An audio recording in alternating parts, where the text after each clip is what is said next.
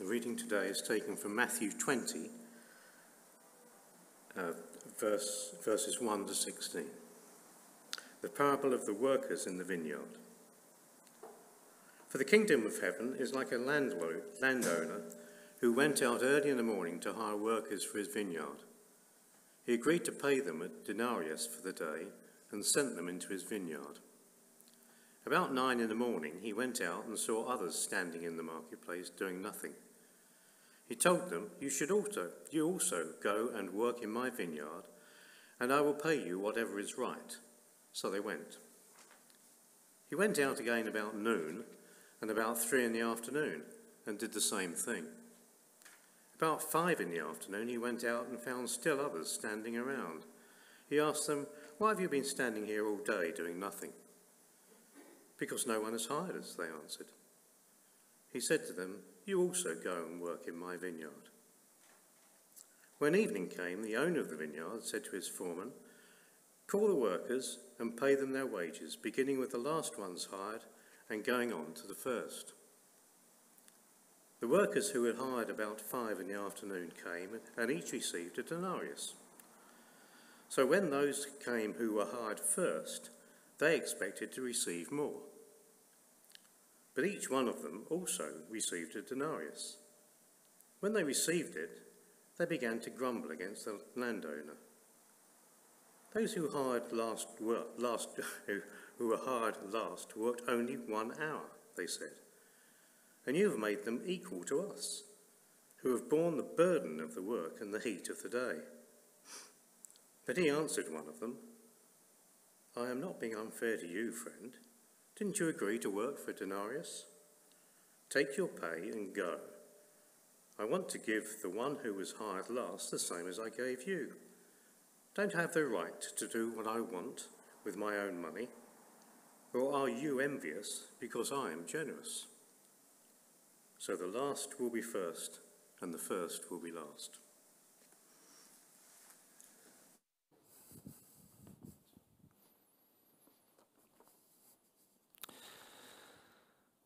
Thank you, Barry. Um, so I've got a nice bowl of grapes here. I think um, there you are. You can see that on the screen as well. I've got some um, red ones, green ones, black ones. And who likes grapes here? Hmm, quite a lot of you like grapes. Um, it's a shame because I would be happy to pass them round and share them, but I'm not allowed to. Um, so it just means I've got to eat them all myself here. And they're so good. Um, excuse me a minute. Do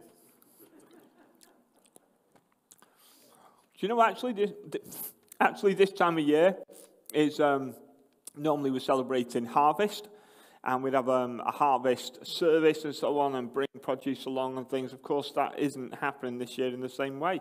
But it's around this kind of time, around the end of September, that we would normally do this. Um, and uh, the story I've chosen today to do here is about harvest time.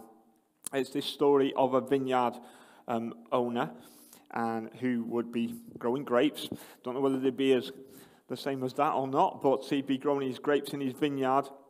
And the vineyard uh, is an age old image or, that, that is used in the Bible, an age old image of Israel. In, in, Isaiah chapter 5, we read about um, God being likened to a vineyard owner, and he's frustrated at the poor grapes that his vineyard has uh, been producing. So, um, the, the vineyard is often used as a picture. So, Israel, the, the, the Jews would be very used to the imagery of this story that Jesus uses to illustrate a point here. Um, and he tells this story about um, a, a, a, lot of unemployed workers who would be meeting in the marketplace. That's what they did. It was kind of like the marketplace where they would gather, would be a bit like the job centre. Um, and they would stand there in the day. These would be primarily unskilled workers who would be waiting for work that day so that they could um, earn enough money to eat that evening.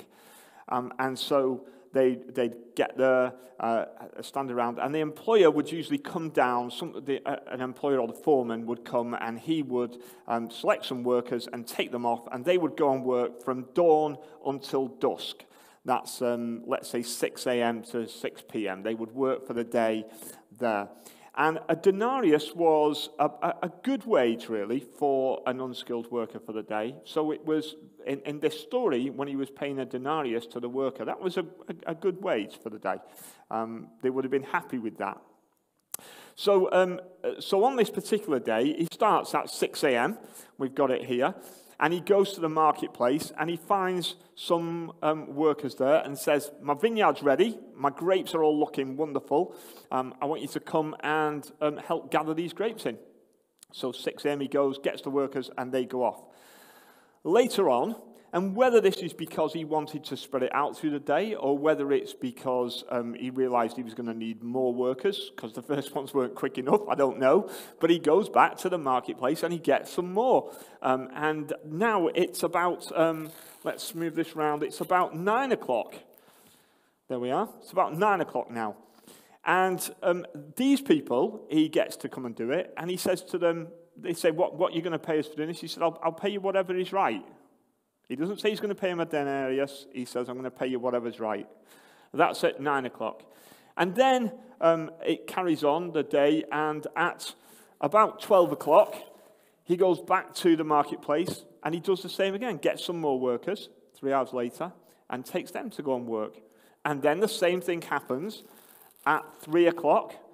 He goes back and gets some more workers and takes them off to the marketplace. You're shaking your head.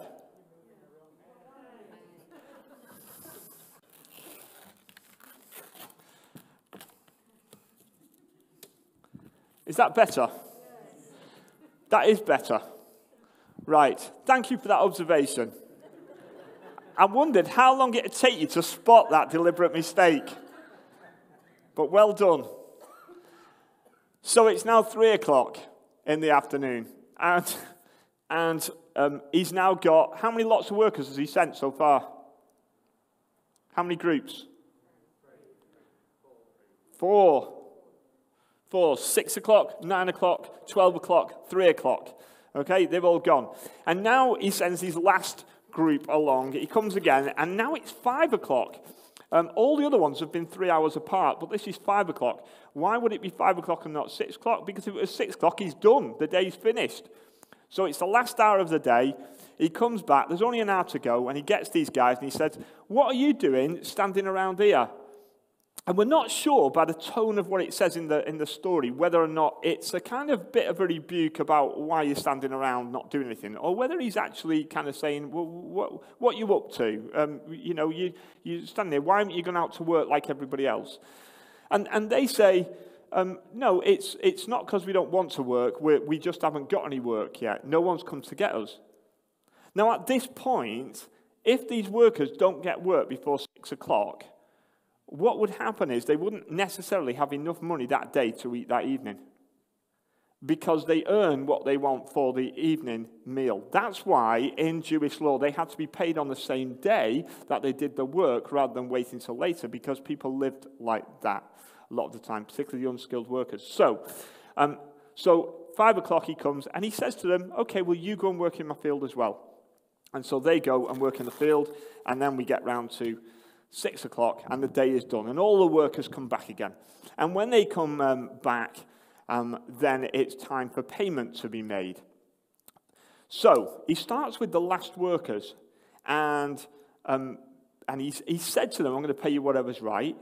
Um, now, normally, they would be paid relative to the amount of work that they'd done for the day.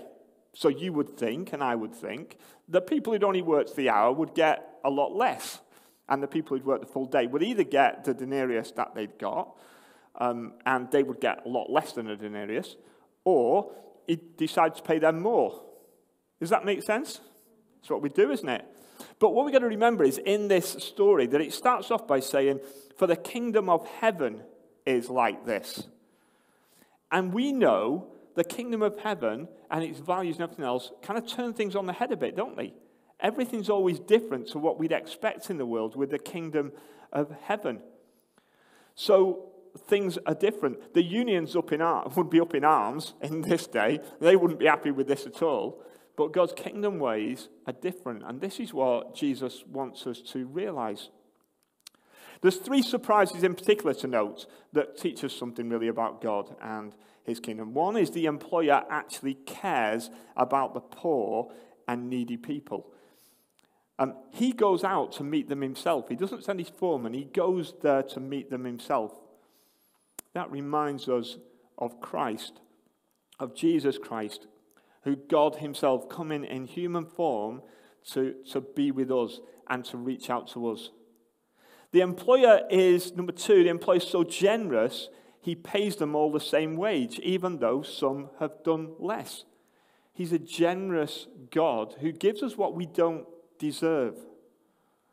And third, the employer calls the complainer friend before he challenges him for justice. Don't you think that's interesting? The last one, the last, the ones who come back and they're complaining at the end and are saying, "Oh, hold on a minute, why have they got that and, and we've only got this?" Well, that's not right. And he starts off by saying, "Friend."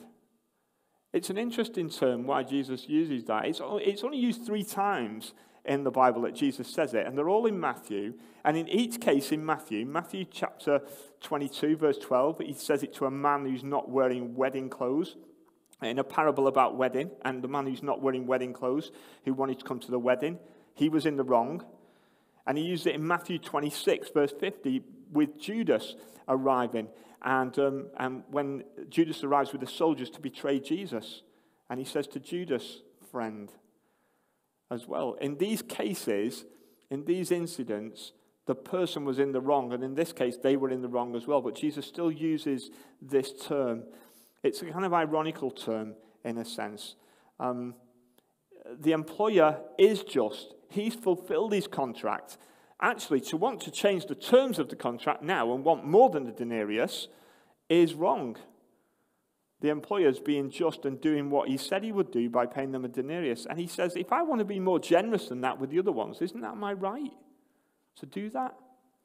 So, what else can we learn about the kingdom of God from this? Because that's what this is about. But we have to look at the, the story in the context as well. So the story follows on from the end of chapter 29. The very last line of the end of, sorry, chapter 19. The very last line of chapter 19 says, But many who are first will be last, and many who are last will be first. And then it goes into this story. And guess how this story ends? This story ends with, So the last will be first, and the first will be last.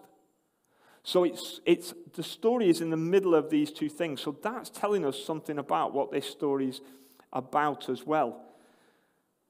The rich young man is in chapter 19. That's the story that's just preceded it. And his question is, What more must I do to get eternal life? And this passage is saying it doesn't matter how hard you work or anything else, you get, you get life, you get the, the meal on the table, if you like, you get what you need to keep living. And in eternal life terms, that's salvation. You get that through the generosity of God, not by something you can do, not by something you can earn by working harder.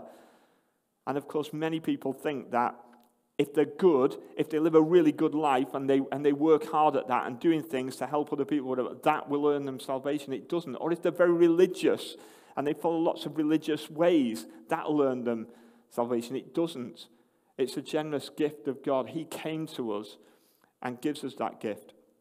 He provided for us. We've got to trust His word, be about the work, and then, but we, we will get our reward. But it's trust in Him, it's His generosity.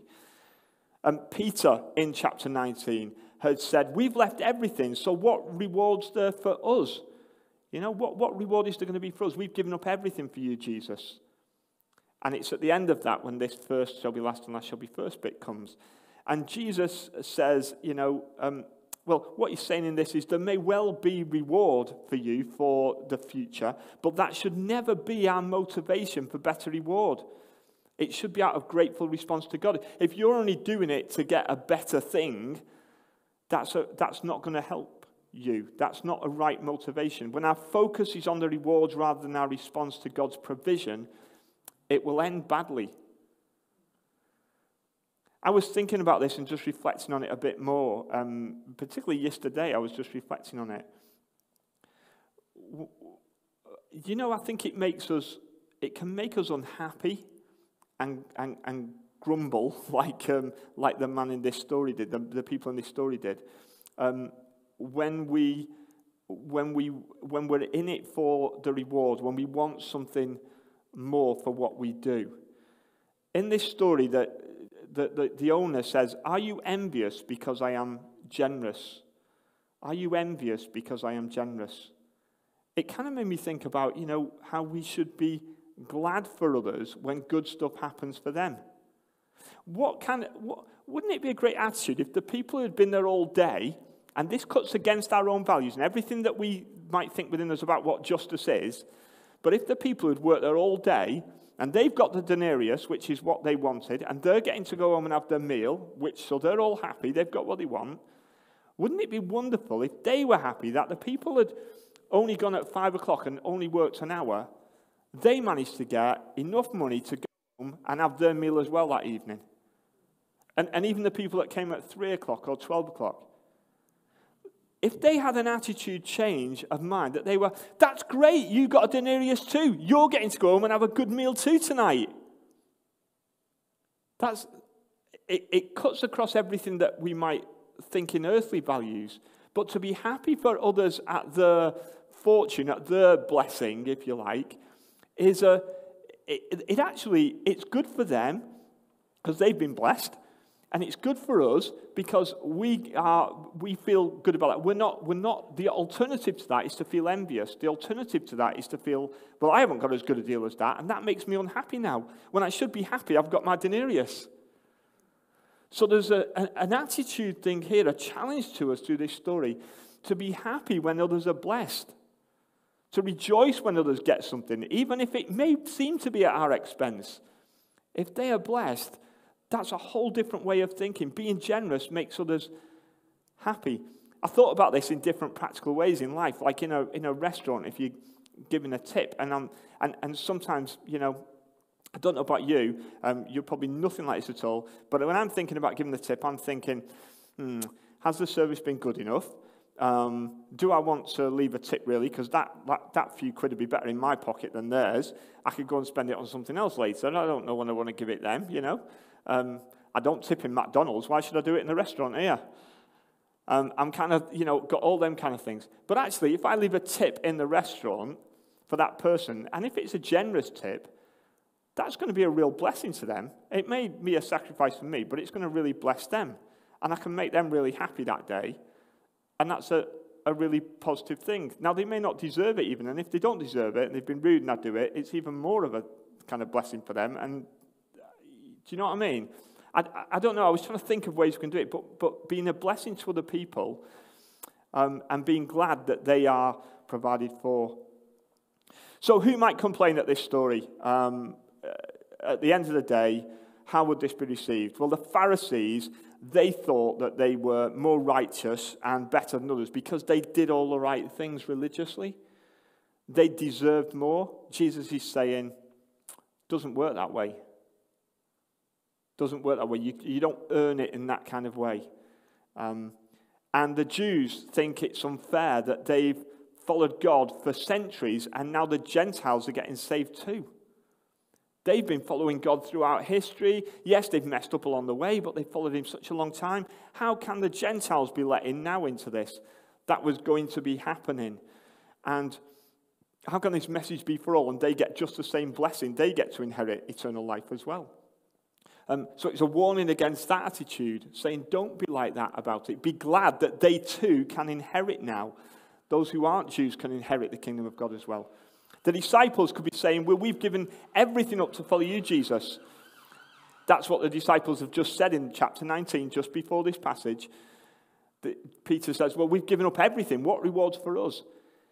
It's, it's kind of a warning against that attitude where later on other people too will inherit, and they may not have been through all the things that the disciples have. Lots of disciples were killed for their faith in Jesus, but, but we receive the reward as well, even if we're not, and don't go through all the persecution they did. We receive eternal life too through faith in Jesus. So it's a warning against that. Don't have that as your motivation. And church members in Matthew's church who had been there a long time, and then other believers coming in afterwards Um, you know, don't begrudge them that and, and put them down, but treat them as, as equal within the church and be glad for them as well coming in.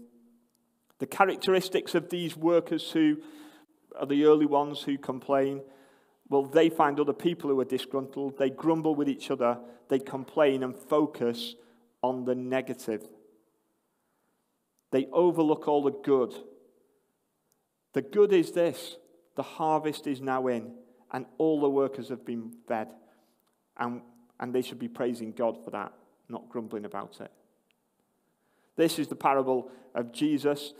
Talks about those kingdom values being very different in God's kingdom. And the message um, for, for anyone watching who, who isn't a believer in Jesus at the moment is this it's only by faith in Jesus that you can be saved. It's not by anything you do or any good deeds or any actions, it's through faith in Jesus Christ. And for us, we should not have our focus on reward, um, but our focus on, uh, on a response to God in everything we do out of gratefulness, to be about His work and His business, not for what we can get out of it, but because He's been so good to us in providing for us. And that's what harvest time is about as well. It's about thanking God for His provision for us in those physical ways as well. But we thank Him today for what that means for us spiritually, the new life we have in Him.